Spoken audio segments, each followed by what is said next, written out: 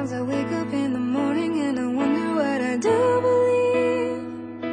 This little voice is telling me I'm at discrepancy with reality, and that bothers me.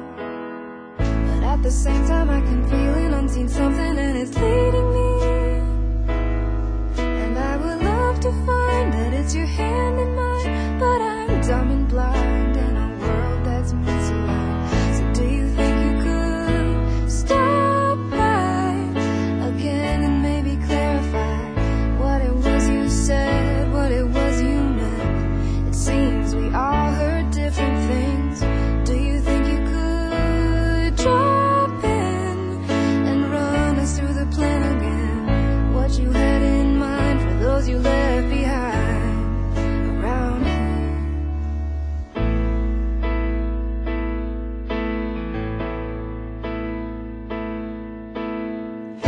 look around me every day and I see lots of things that disagree with what's been told to me. But such a thought.